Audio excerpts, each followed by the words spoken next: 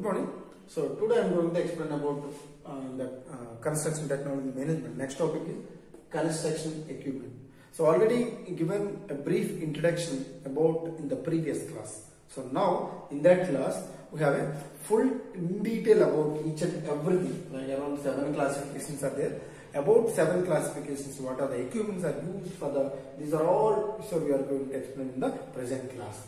So while in the construction equipment, while you are doing a, a construction a project, like if it is a long term project or short term project. So for that long term or maybe short term, there may be need of equipment. There are a lot of equipment, different different types of equipment. So that type of equipment are you now used. So these are the different types of like earth moving equipments, hauling equipment, hoisting equipment, conveying equipment, aggregate and concrete equipment, pile driving equipment, pumping and dewatering equipment. So these are all different different type of equipment. So now I am going to explain in detail about each and every, every, everything, everything. So, so please listen carefully.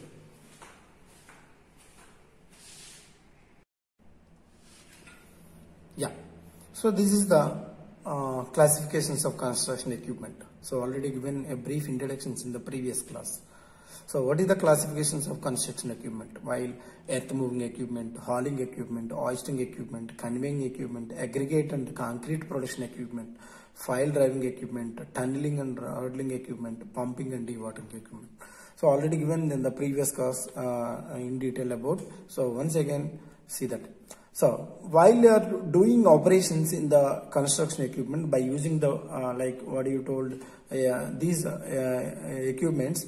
So what are the operations are going by using these equipment? What are the operations? Yeah, like excavation, digging of large quantity of earth, moving them to distance which are sometimes fairly long, placements, compacting, leveling, dozing, grading, hauling. These are the uh, works involved in the uh, project while you, by the um, different equipments.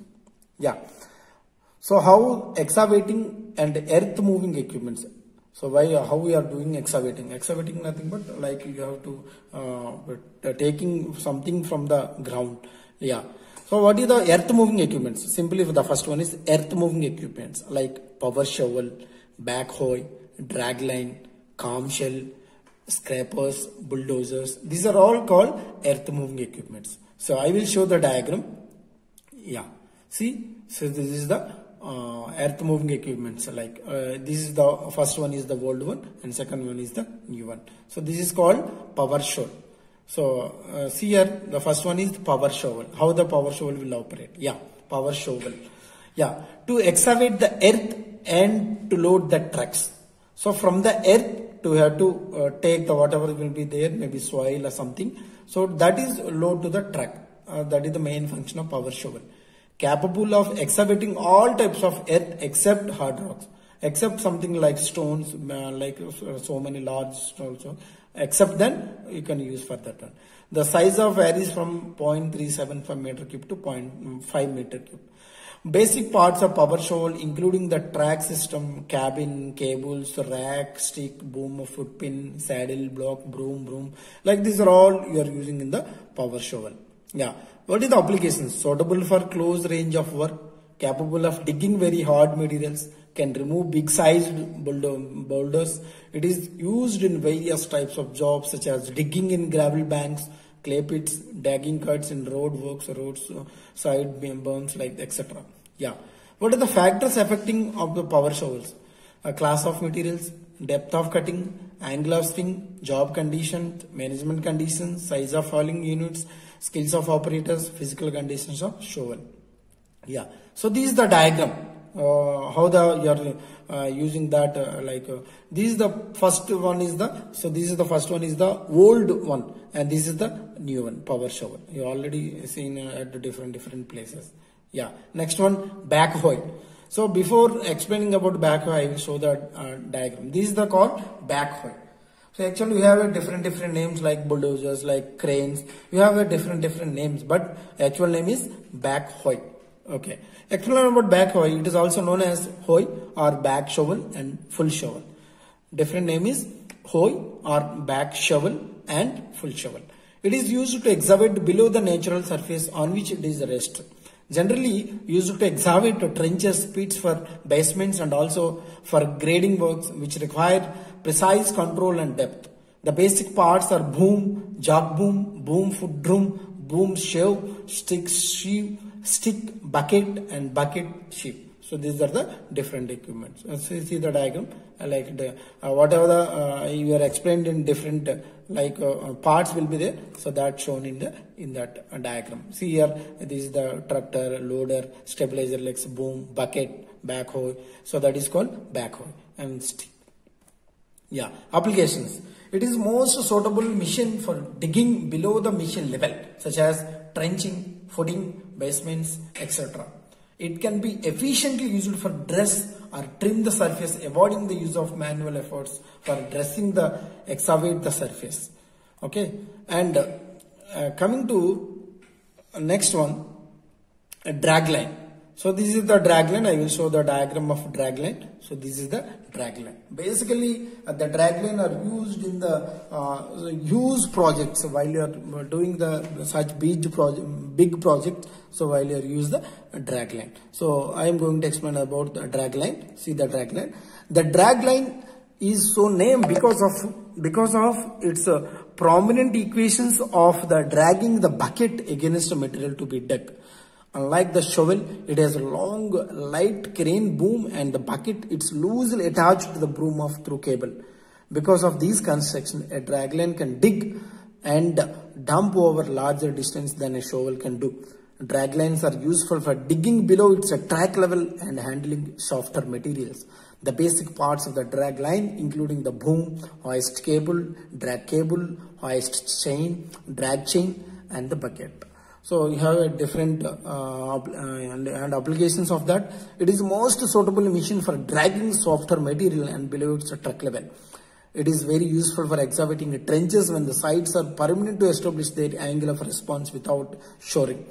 It has long reaches. It mostly used for the excavation for canals and depositing the embracketing without hauling units. So this is the diagram of that backhoe. So whatever the material will be there that from uh, takes from here and put like different uh, applications of rather than be, um, previous two classification. And clamshell.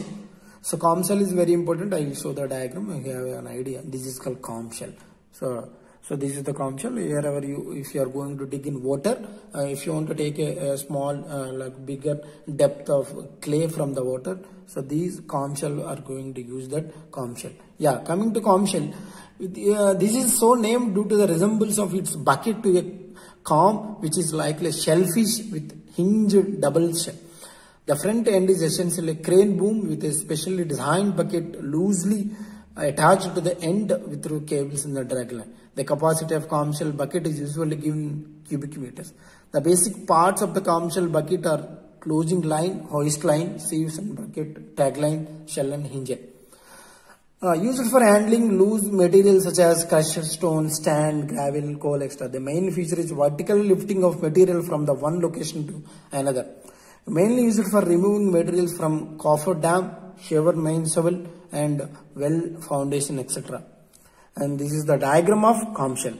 So Next one, comparison between different types of equipment. Like it is a uh, excavation of wet well, a distance between footing, loading. Like these are all you can have a, a different different. Like if it is excavation of that poor, mm, poor uh, like um, good, good, not good. Like depending upon the materials, you can use the different different uh, like uh, what type of ma ma material used. Yeah, trenching machine. So this is the trenching machine. You can see the diagram used for excavating trenches for laying pipelines, CVS cables, etc. Operations is quick, giving the required depth of width or width. Uh, two types of trenching machines, wheel type and ladder type. Yeah, scrappers. Next one is scrappers. Unique machines for digging and long digging and long distance hauling of uh, powerly able material. Self-operating machines, it is dependent on other equipment, wheels the machines which causes some comparison. Yeah, this is the scraper. While for the leveling, uh, if you want to level the material in the ground level, then you can use the scrappers. Bulldozers. already you have a well idea about the bulldozers. Uh, I will show the diagram. So this is called bulldozers. See the diagram. Different different parts will be there, and each and every uh, uh, equipment is dependent upon their number of parts. Yeah, the heavy blade attached to the tractor uh, pushes the material from one place to another. The tractor can be of crawler or the wheeler type. Classifications of bulldozers, position blades, and in that one position blades, bulldozers in which the blade perpendicular to the direction. Angles dozers, which is blade is set an angle with the directions of movement. That is, uh, like second one based mounting, third one is based on control. Different types of bulldozers. Yeah. Uh, applications of these one for separating the earth field, for separating pilot roads, cleaning construction sites, maintaining haul road, like the, you can see that. Tractors. Already have a well idea about the tractor. Now I will show the diagram. These are the different types of tractor while in the construction material. Yeah, the multi-purpose materials like yeah, because I'm skipping somewhat little bit faster than because uh, already nine minutes over. So because uh, it cannot upload in that one. So compare this is the comparison. If you see that diagram, yeah, earth compression equipment, smooth wheel rollers, uh, sheep foot rollers, pneumatic trailers, like so. This is the diagram. Smooth wheel roller. So this is the roller. As you can see the uh, how the operations will be on and plain steel rollers, self propeller rollers, like you can see that. Yeah, sheep foot rollers. These are foot rollers, pneumatic trailer rollers uh, pneumatic uh, tide rollers, hauling equipment. So this is the side dump truck, rear dump truck, bottom dump truck, dumpers. So this is called dumper. That means what you can, whatever the material will be there, that you can dump from one place to another. Hoisting equipment. See the hoisting equipment. These are mobile cranes overhead gantry cranes overhead cranes. You can see in any constructions while you are constructing any project you can see these, different types of uh, like equipments. Traveler cranes tower cranes. So this is called tower cranes. Conveying equipment. Belt conveyors so this is the belt conveyors. Screw conveyor. This is called screw conveyor. Bucket conveyor. This is called bucket conveyor. Aerial transport. So this is called aerial aerial view transport. Jaw crushers. So this is called jaw crusher. So I will explain each and every one again for simplicity. Cone crusher. This is, this is called cone crusher. A roll crusher. So in that one there are two rolls will be there. In that one you can put the material that will crush to uh, larger material to low diameter. Hammer mill. So this is called hammer mill. This is called rod mill and ball mill. Thank you.